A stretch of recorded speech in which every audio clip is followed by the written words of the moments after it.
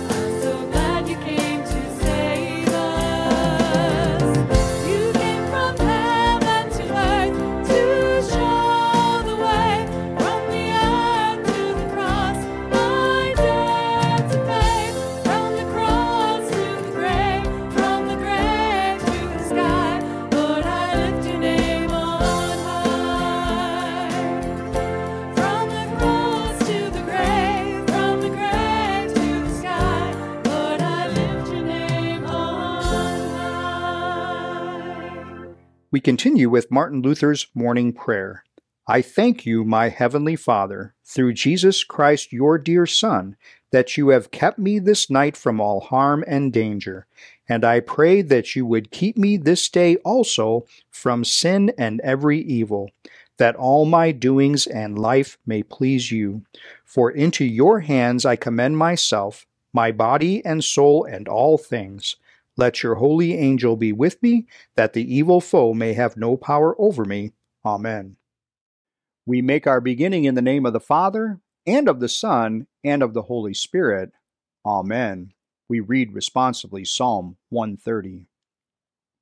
Out of the depths I cry to you, O Lord. O Lord, hear my voice.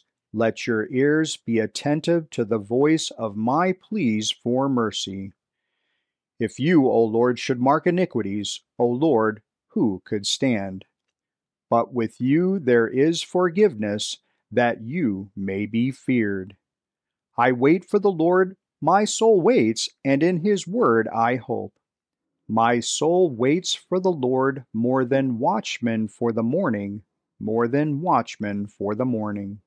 O Israel, hope in the Lord, for with the Lord there is steadfast love, and with him is plentiful redemption.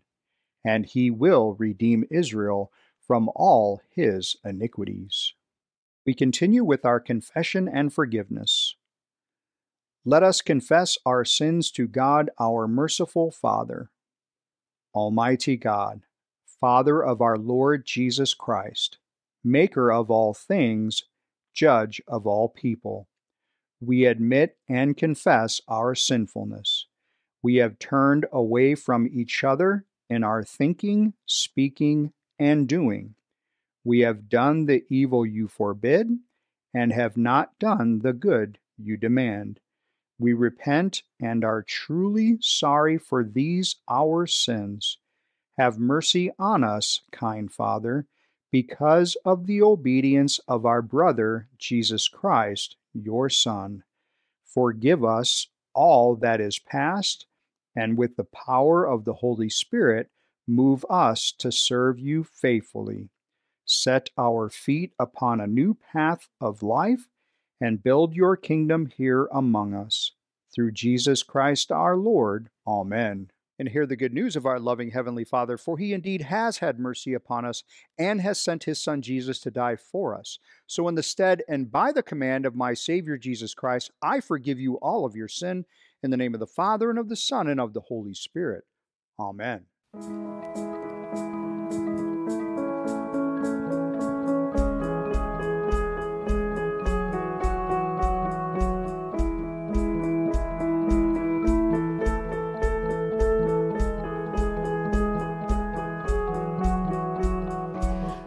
water you turned into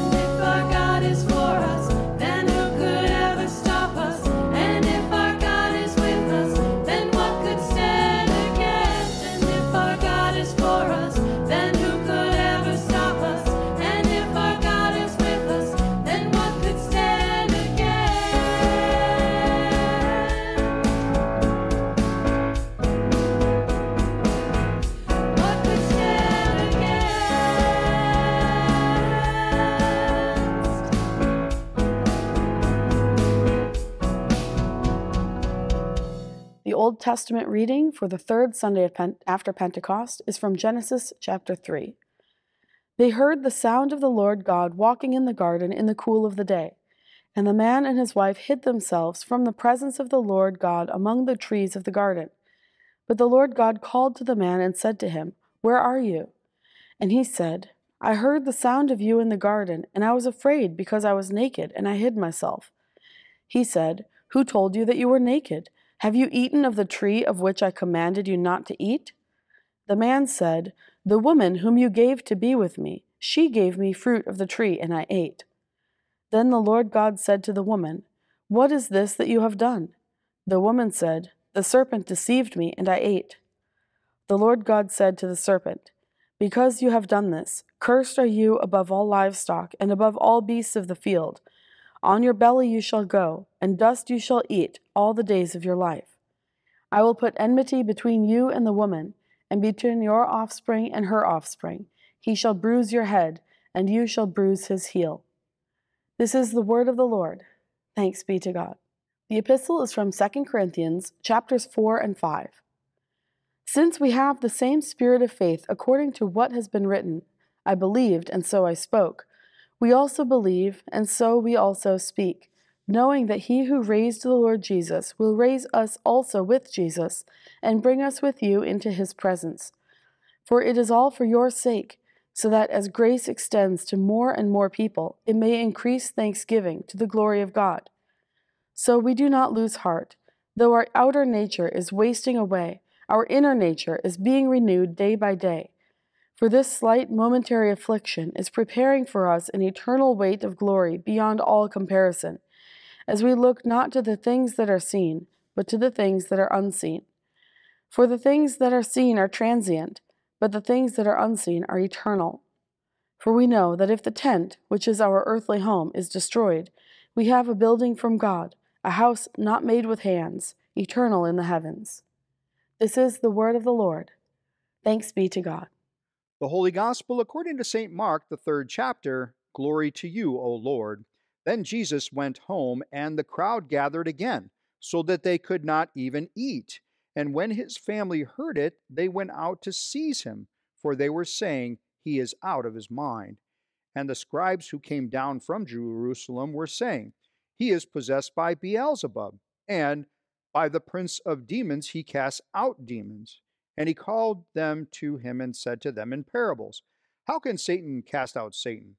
If a kingdom is divided against itself, that kingdom cannot stand. And if a house is divided against itself, that house will not be able to stand. And if Satan has risen up against himself and is divided, he cannot stand, but is coming to an end. But no one can enter a strong man's house and plunder his goods unless he first binds the strong man. Then indeed he may plunder his house. Truly I say to you, all sins will be forgiven the children of man, and whatever blasphemes they utter, but whoever blasphemes against the Holy Spirit never has forgiveness, but is guilt uh, but is guilty of an eternal sin. For they had said he has an unclean spirit. And his mother and brothers came standing outside, they sent to him and called him. And a crowd was sitting around him, and they said to him, Your mother and your brothers are outside seeking you. And he said to them, Who are my mother and my brothers? And looking about at those who sat around him, he said, Here are my mother and my brothers. Whoever does the will of God, he is my brother and sister and mother. This is the word of our Lord. Praise to you, O Christ.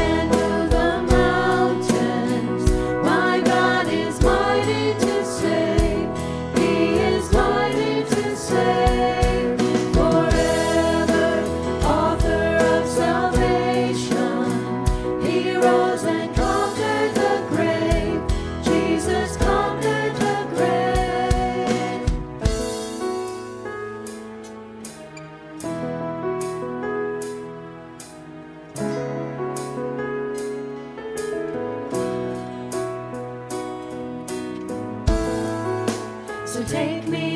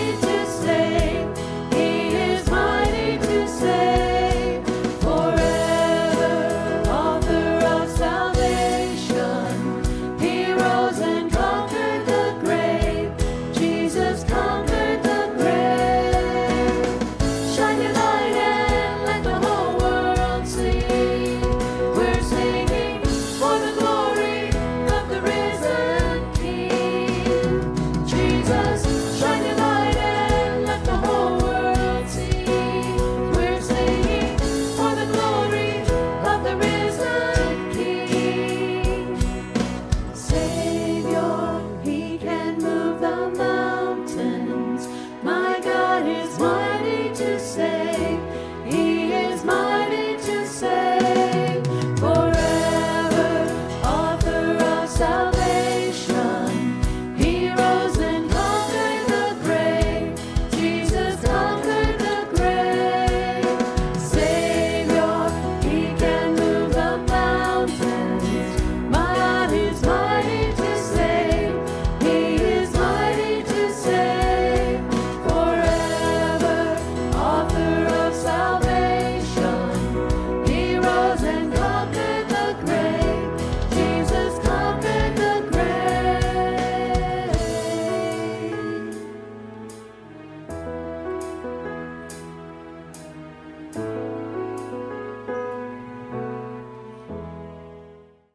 You, online viewers, chosen by our Heavenly Father for His good purposes in this life, empowered by the Holy Spirit for obedience to our Lord and Savior Jesus Christ, grace and peace be to you.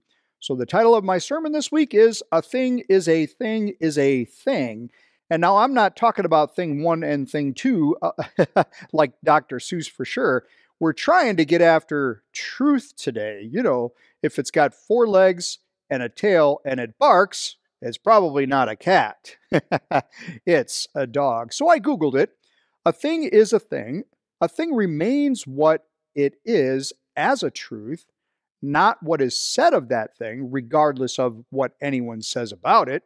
In other words, a truth about something is not defined by what others say of it, as their expression is subject to their perception, prejudices, and individual opinions. So that's 2015 from uh. Boy, with all the craziness going on in the world today, this definition certainly nails it, right? It seems perception and prejudices and opinions are the new truths. But then again, how can this possibly be so? It really doesn't. I mean, if it's got four legs and a tail and it barks, it's got to be a dog. then again, we find this in our confusing family dynamic text from St. Mark's Gospel today. Mark tells us the story of Jesus's mother's and brothers being a little bit confused by what he is doing and what he is doing with his teaching. In fact, his mother and his brothers thinks that he has completely lost his mind. And the Pharisees think that Jesus is demon possessed. But Jesus uses pretty good logic to dispel their thinking, right? If Satan is divided against his own self, I mean, how can his kingdom stand? Uh, and so it makes a little sense there. Now, this doesn't surprise me, and probably doesn't surprise you either, right? Because he is, after all, true God. But then again, Jesus calls his followers, his listeners, his doers, doers of the word, his mother and his brothers and his sisters. So is Jesus trying to confuse us about the truth this morning? there certainly is a lot of confusing things going on in the text, perhaps. But let's get back to the truth. While truth seems like it should be black and white, there's a lot of challenges to that notion today. Even before the pandemic, we have been on an interesting path. Take, for instance, the article entitled The Difference Between Speaking Your Truth and the Truth by Conor Friedersdorf in The Atlantic on January 8, 2018. He writes, on Monday, as Oprah Winfrey's stirring acceptance speech at the Golden Globes secured a place in the national conversation, Byron Tau of the Wall Street Journal tweeted this Oprah employed a phrase that I've noticed a lot of other celebrities using these days your truth instead of the truth. Why that phrasing? He fretted that your truth undermines the idea of shared common facts.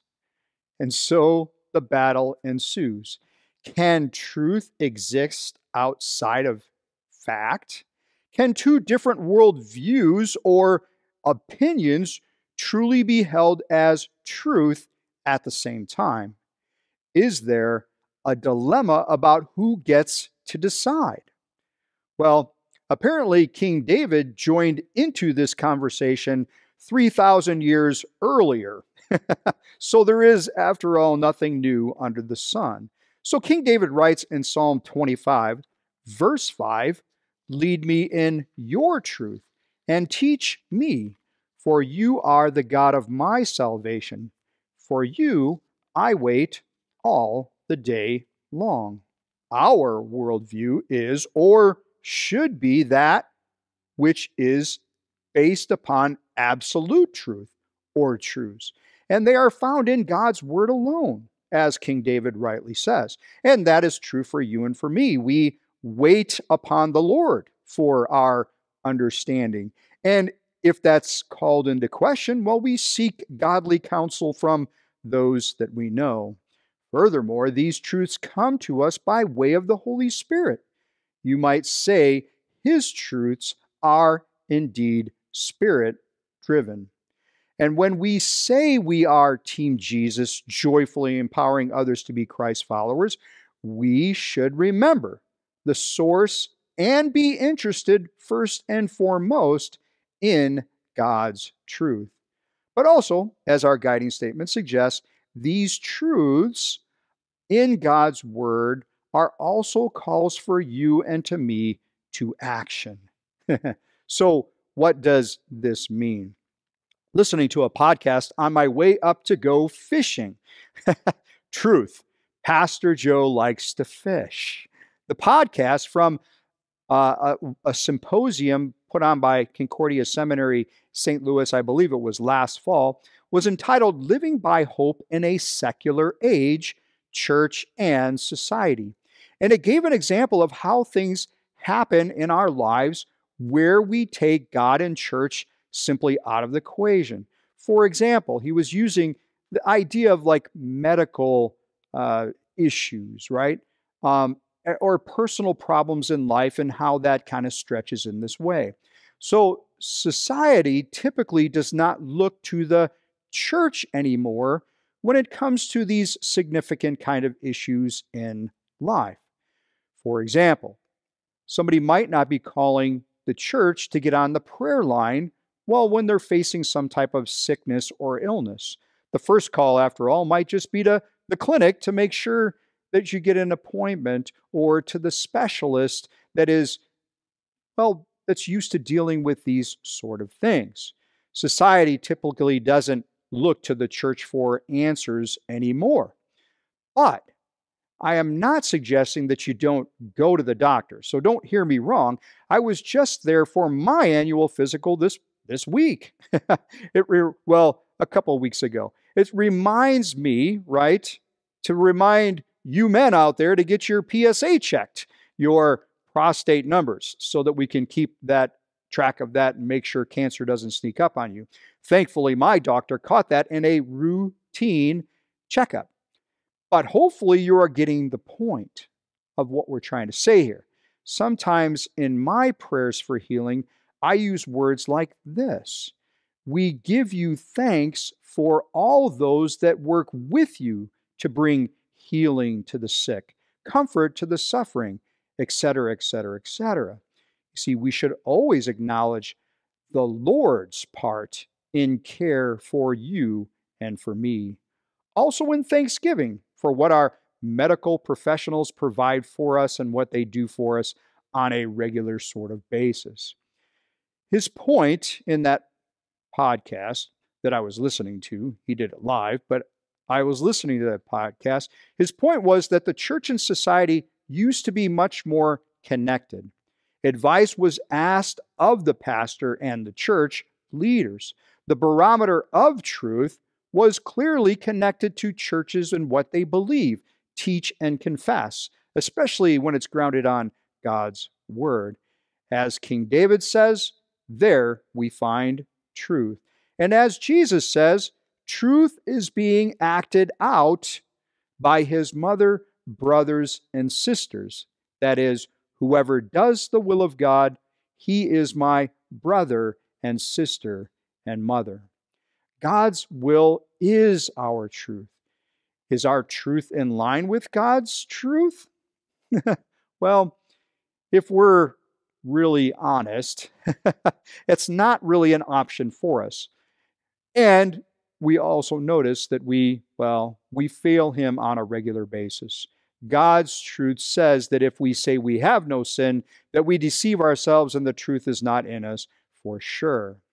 But God's word also says in Romans 6 23, for the wages of sin is death, but the gift of God is eternal life in Christ Jesus our Lord. Thanks be to God, right?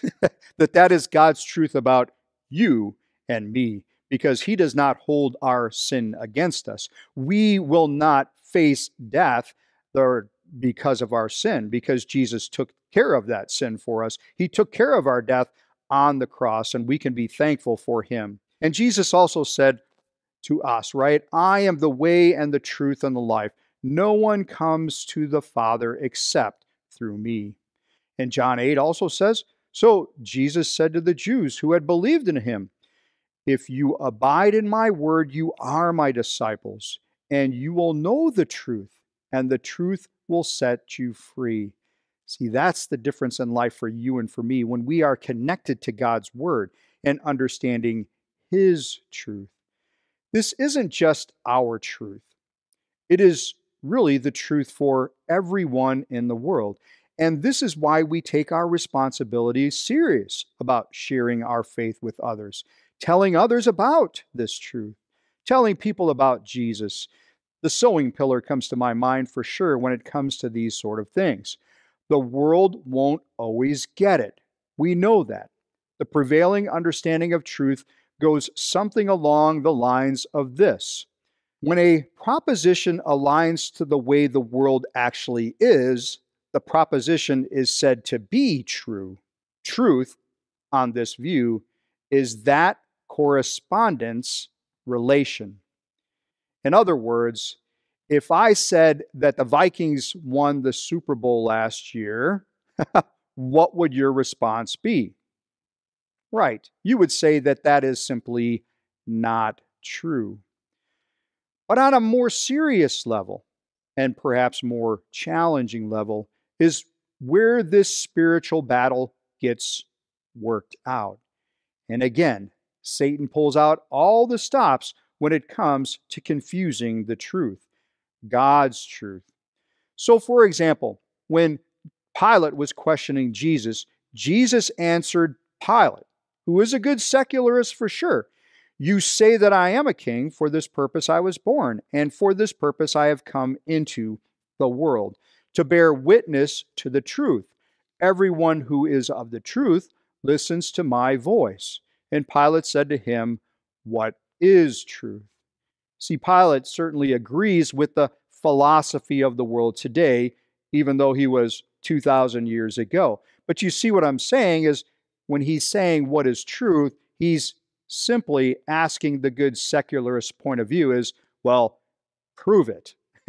show me the statistic or show me, you know, the front page that said the Vikings won the Super Bowl. You won't find it, right? You'll find that the Chiefs won the Super Bowl for sure. So, Pilate's being a good secularist, Pilate's got a pretty good understanding of what truth is.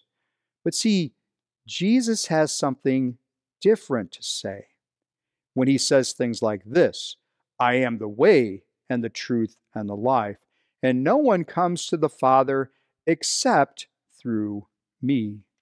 Now, hopefully, Pilate grabbed onto that truth because if he had, if he did, right, then we know that he'll be in heaven with you and with me, all of those that are trusting in this truth. But remember, it is the power of the gospel that changes lives.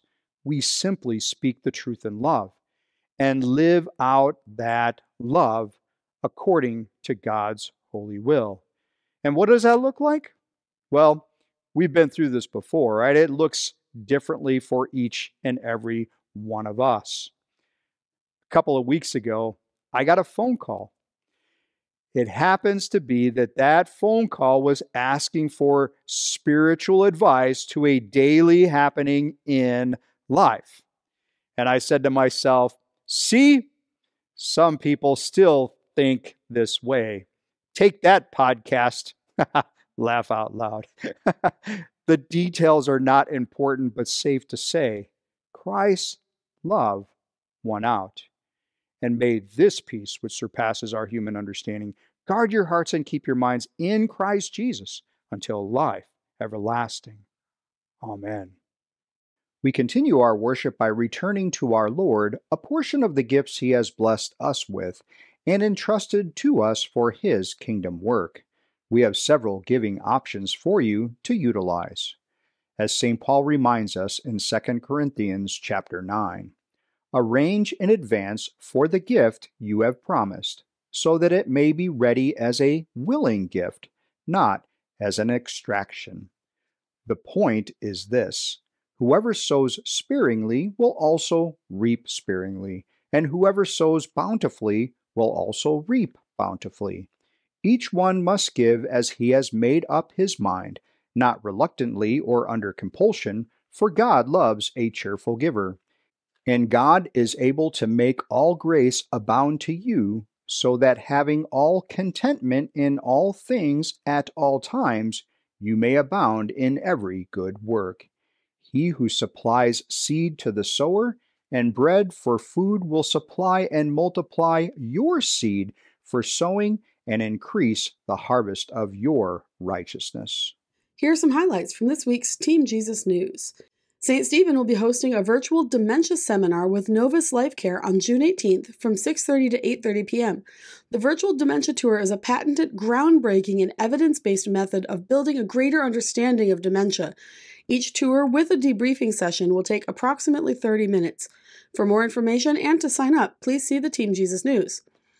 We are looking for worship volunteers to help with services. Would you like to click slides, run sound, read, or usher? Please let the office know. Our first Second Friday social is coming up on June 14th from 6:30 to 9 p.m. Come and join us for some laid-back fellowship. If the if the weather is nice, we'll have a cookout and bonfire. If it's not, we'll plan family-friendly party games inside. Bring a side or dessert to share. Vacation Bible School is just around the corner on June 23rd to 27th. Don't forget to re- register your child to participate or f- to volunteer. And join the youth mission trip for VBS Movie Night on June 23rd after the VBS kickoff as they watch the movie Finding Nemo. Tickets are $15 for a parent and a child. You can scan the QR code or find the link in the Team Jesus News to buy tickets. Learn more about what's going on at St. Stephen by checking this week's Team Jesus News. At this time, we make confession of our Christian faith to the words of the Nicene Creed. I believe in one God, the Father Almighty, maker of heaven and earth, and of all things visible and invisible, and in one Lord Jesus Christ, the only begotten Son of God, begotten of his Father before all worlds, God of God, light of light, very God of very God, begotten, not made, being of one substance with the Father, by whom all things were made, who for us men and for our salvation came down from heaven and was incarnate by the Holy Spirit of the Virgin Mary, and was made man, and was crucified also for us under Pontius Pilate. He suffered and was buried, and the third day he rose again according to the Scriptures, and ascended into heaven, and sits at the right hand of the Father. And he will come again with glory to judge both the living and the dead, whose kingdom will have no end. And I believe in the Holy Spirit the Lord and giver of life, who proceeds from the Father and the Son, who with the Father and the Son together is worshipped and glorified, who spoke by the prophets. And I believe in one holy Christian and apostolic church. I acknowledge one baptism for the remission of sins, and I look for the resurrection of the dead and the life of the world to come. Amen. This morning in our prayers, we want to remember Angie Munt's mom that has uh, just continuing health issues that they're trying to monitor. Also, prayers for Mary Atchison. She is home, so Lord willing, she gets back to church soon. Also, prayers for Richard Bennett as he uh, is continuing his uh, rehab. Prayers for Linda Miller, who has uh, surgery on June 3rd and also on the 7th. So, prayers for successful surgery and recovery for her. Prayers for Carolyn Parks, as she has been ha- hospitalized since May 24th with severe back pain. Prayers for Sandy. Uh, this is Shelley Curtis's aunt, as John's uh, uh, John. This is also John's wife, and she passed away from a brain aneurysm. So prayers for that family, for Sandy's family, and also John's continued uh, health issues that he's battling with with cancer. Um, prayers for um, Lisa Kutchgow's mom, who's just continuing to battle her health issues too. Prayers for Natalie. This is a college or a colleague of Carrie Snyder's that's having surgery. Also, prayers for Dominic, Shelly Curtis, a student that's uh, taking a chemo pill every day, so he is doing well, but is getting very tired. Also, prayers for Brian. This is a coworker of Audrey Lammers. Um, he's going to have surgery to remove some cancer. And also prayers for Sue. This is a coworker of mine when I worked at Red Lobster in Sioux Falls. She uh, has been diagnosed with brain cancer, and the outlook is not great. So let us pray for the whole people of God in Christ Jesus and for all people according to their needs. Almighty God, three distinct persons, Father, Son, and Holy Spirit, yet one God.